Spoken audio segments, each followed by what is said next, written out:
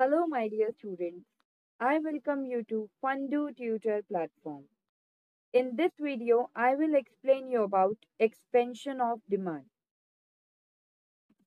तो expansion of demand को समझने के लिए हम सबसे पहले इस स्केड्यूल को ऑब्ज़र्व करेंगे तो ये स्केड्यूल है गुड एक्स के बारे में हमें क्या क्या गिवन है price of good X in rupees and quantity demanded of good X in unit तो आइए ऑब्ज़र्व करते हैं टेन रुपीज़ का जब प्राइस है तो कंज्यूमर कितना डिमांड कर रहा है? कंज्यूमर डिमांड कर रहा है hundred unit of good X and when price five rupees हो गया है तो कंज्यूमर डिमांड कर रहा है वन एट्टी यूनिट्स यानी कि जब प्राइस डिक्रीज हुआ प्राइस यहाँ पर क्या हो गया? Ten rupees to five rupees जैसे ही प्राइस डिक्रीज हुआ गुड एक्स का तो डिमांड फॉर गुड एक्स क्या हो गई?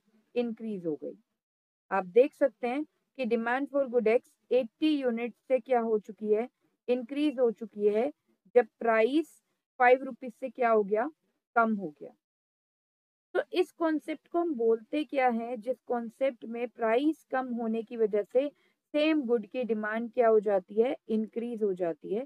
तो इसे हम बोलते हैं expansion of demand expansion of demand का other name extension of demand भी होता है तो आइए देखते हैं इसकी definition when the demand for a particular commodity rises due to decrease in the price of the commodity itself then it is called expansion in demand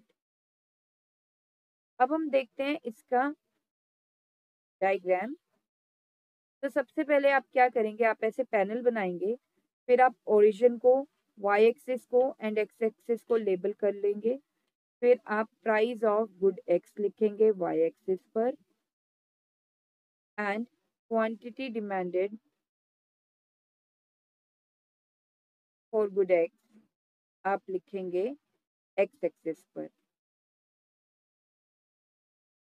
Then you will take a demand curve मैंने यहाँ पे demand curve ले ली है और demand curve को मैंने D D से mark कर दिया है। फिर आपको एक पॉइंट लेना है ऑन द डिमांड कर्व मैंने इसे पॉइंट ए का नाम दे दिया है। अब मुझे देखना है कि ये पॉइंट ए क्या रिफ्लेक्ट कर रहा है? ये पॉइंट ए क्या इंडिकेट कर रहा है? तो ये इंडिकेट कर रहा है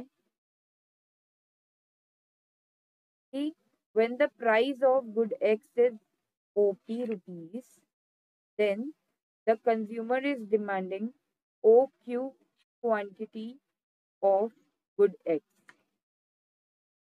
Now let's suppose the price decreases. Price decreases हो गया तो मुझे P से थोड़ा नीचे मार्क करना होगा प्राइस लेट सपोज़ P1 तो now the price is OP1 इस OP1 प्राइस पे मुझे देखना है क्वांटिटी डिमांडेड कितनी होगी। तो ये आप कैसे देखते हैं? प्राइस को आप डिमांड कर्व की तरफ़ एक्सटेंड कर दोगे और डिमांड कर्व से आप ऐसे नीचे एक्स एक्सिस की तरफ़। तो यहाँ पर हमें O Q one quantity demand आ गई। तो मतलब when the price decreases to O P one then the consumer increase its quantity from O Q to O Q one now the consumer have move to point B तो अब consumer point A से point B की तरफ़ आ चुका है। तो यहाँ पर ये क्या हुई है? This is called downward movement along the same demand curve this is called downward movement along the same demand curve and it happens under expansion of demand और you can say extension of demand तो I hope आपको समझ में आया होगा कि expansion of demand होता क्या है और इसका डायग्राम कैसे बनाना है? Thank you so much